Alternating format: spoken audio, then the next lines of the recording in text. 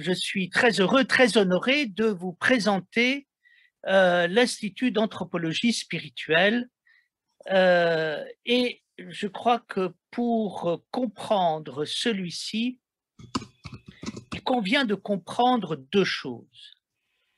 Il convient d'abord d'avoir l'idée de l'extraordinaire originalité d'Annick de Souzenel, qui est à l'origine de cet institut par son travail et son inspiration, et j'ajouterai son souffle.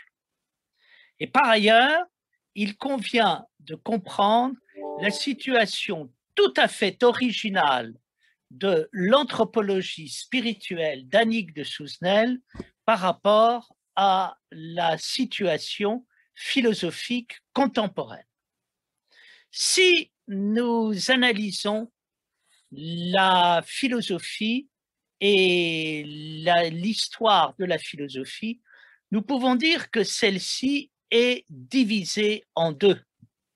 En premier temps, la philosophie s'est intéressée à la métaphysique et derrière la métaphysique, à la notion de réalité absolue ou être, ce qui est remarquable puisque penser, c'est prendre conscience que nous sommes reliés à une réalité absolue qui est l'être, qui a été, qui est et qui sera.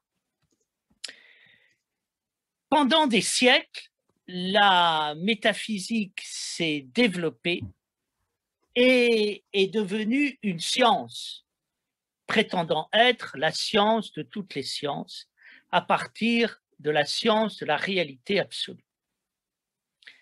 Et puis, à partir de la Renaissance, les choses changent et tout d'un coup, on voit apparaître la notion de l'homme à la place de l'être.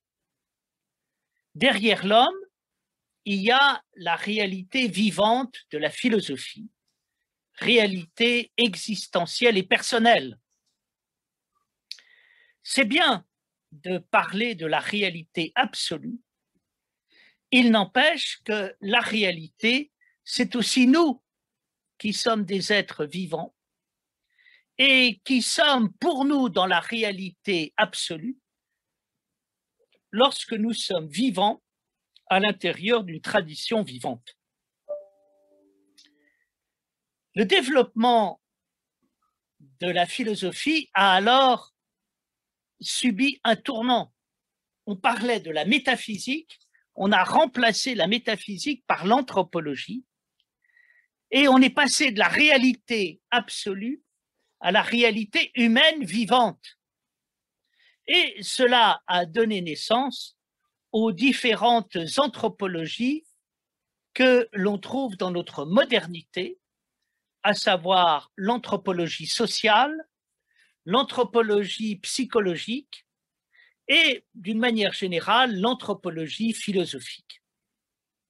L'être ou l'homme, l'homme ou l'être, la philosophie discute, elle a discuté et elle discute encore à ce sujet.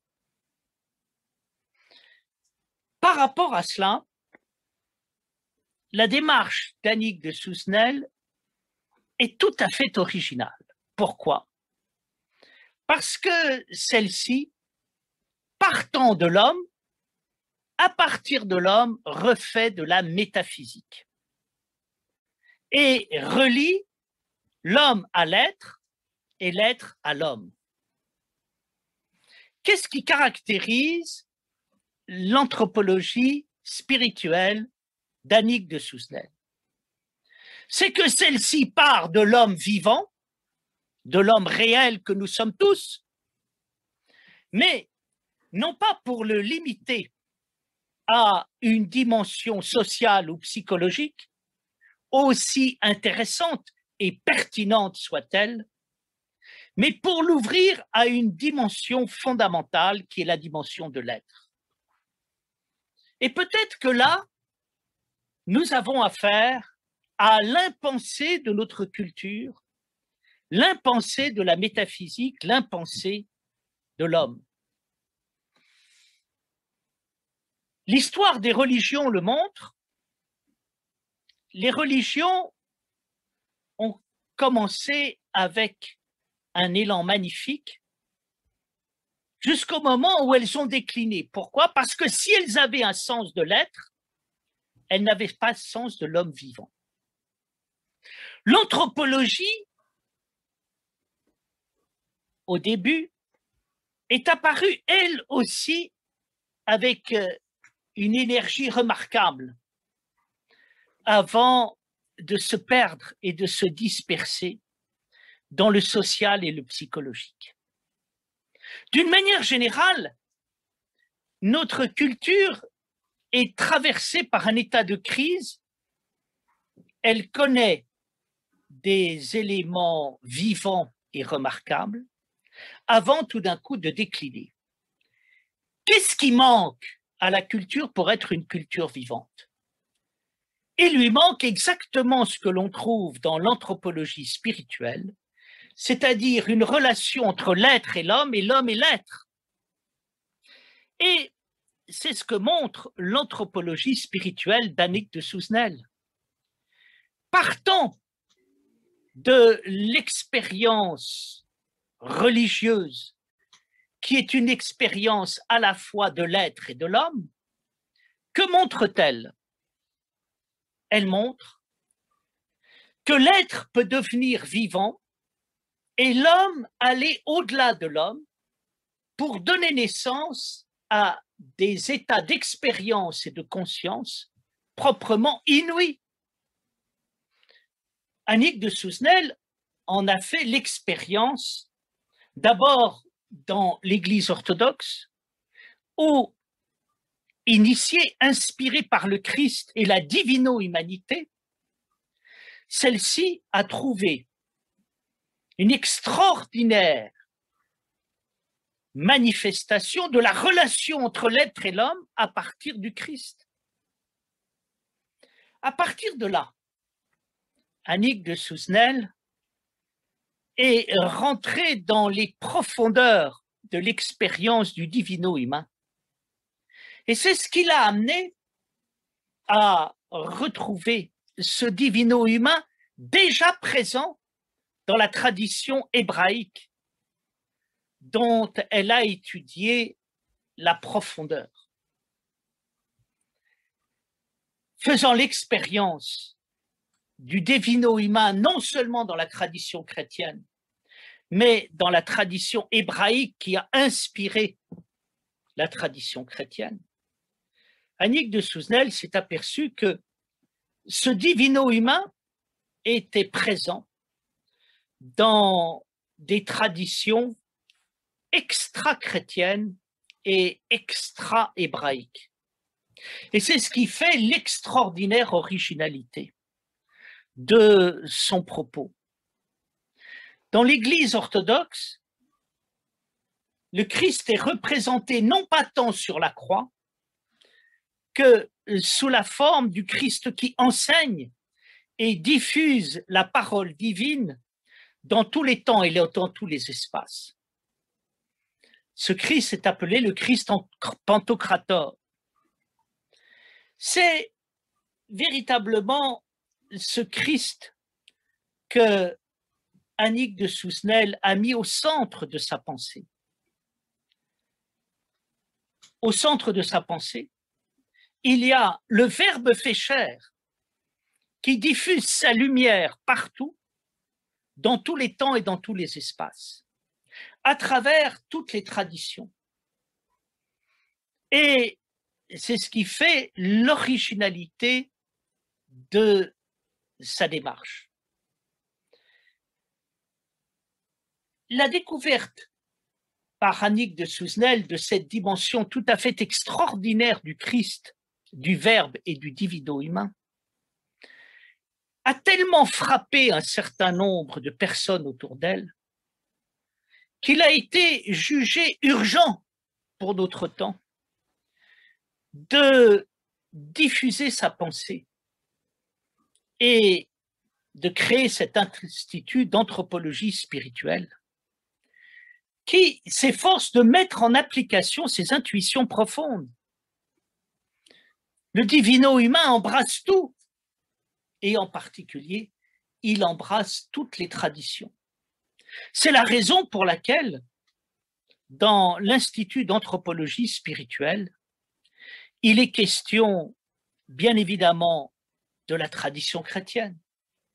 Il est question de la tradition juive, mais il est aussi question de l'islam, de la Chine, de l'Inde, de l'Afrique, des traditions apparemment non occidentales et non chrétiennes, qui révèlent la présence du divino humain à l'intérieur de celle-ci qui embrasse tout. D'où l'extraordinaire ouverture du travail qui se fait dans cet institut. Cet institut diffuse des connaissances à travers euh, des spécialistes remarquables dans chacune des traditions dont euh, ils sont les canaux. Mais l'originalité du travail qui se fait, c'est de toujours associer le travail de connaissance avec des pratiques corporelles qui se font dans des ateliers. Ce qui fait que les séances d'études qui ont lieu tous les mois se font autant dans l'esprit que dans le corps, de manière à donner une vision complète de l'expérience spirituelle, puisque le divino humain n'est pas simplement une lumière inouïe qui éclaire notre existence, mais c'est aussi une lumière qui parle à l'intérieur de notre corps pour permettre à celui-ci de se libérer et de s'épanouir. Je pense sincèrement que l'Institut d'anthropologie spirituelle est un institut qui marque l'avenir. Nous sommes dans un monde qui ne sait plus d'où il vient, ne sait plus où il va, ne sait plus qui il est. Combien de temps encore allons-nous vivre et pourrons-nous vivre dans une civilisation où l'individu est un consommateur, complètement perdu dans son histoire, ne sachant ni d'où il vient, ni où il va, ni qui il est? Demain, il est évident que nous vivrons une révolution dans la mesure où on ne pourra plus continuer à vivre dans l'ignorance, le malheur dans lequel nous vivons. Songez que quand une partie de la population, pour faire face à la difficulté de la vie, ne recourt pas à des stupéfiants, celle-ci fait la queue devant des cabinets de psychiatres et de psychanalystes tant